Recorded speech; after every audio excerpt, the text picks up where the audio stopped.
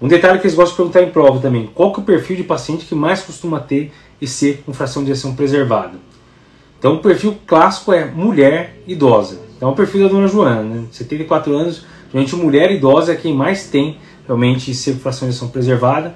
Daí, pacientes hipertensos, pacientes obesos, pacientes que têm hipertrofia do ventrículo esquerdo, paciente com doença renal crônica, paciente com FA. Então tem vários pacientes que podem ter, se você somar essas coisas, tem Dona Joana, mulher, é, mulher idosa, tem hipertensão, a gente nem sabe se tem FA, a princípio ela está em um sinusal, é, tem, pode ter uma obesidade, ela tinha um MC32, acho que não comentei, mas você vai somando as coisas e você vai aumentando a chance, a probabilidade de pré-teste aí da paciente realmente ter mais seco fração de ação preservada. Então esse é o perfil que mais tem.